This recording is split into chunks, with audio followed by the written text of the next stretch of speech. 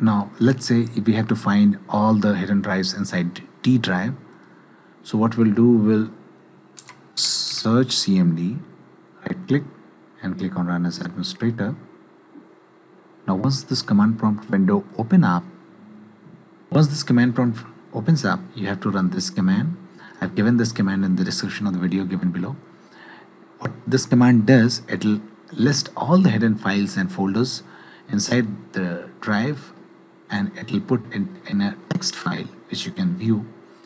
And the name of the text file will be hidden.txt but first of all what we have to do we have to browse to that particular drive in which we want to find the hidden files. So first since I want to find in my D drive so I'll type D and colon and hit enter. Now we are inside D. Now we will run this command. Just copy this command and now paste it hit enter. And now here you go. This hidden.txt has been created. Double click on it to open it. And now you can see this. Uh, there is dir private pic. There is one folder.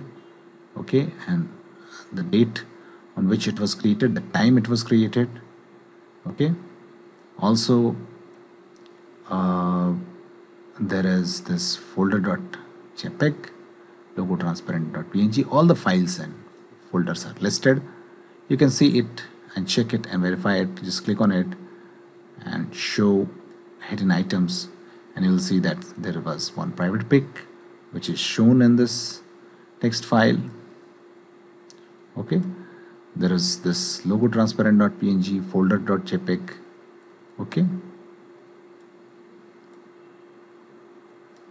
there is this logo transparent.png which is the hidden file. Okay? So in this way all the files will be seen. That's it guys